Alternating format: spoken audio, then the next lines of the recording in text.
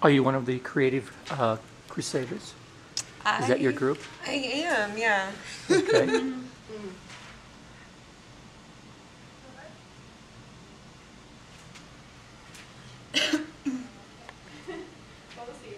I'm Aya Stoller, and I'm a master's art therapy student here, and we are doing the Painting Marathon, which is a fundraiser to take students to a service learning trip to Cambodia to work with victims of sex trafficking there.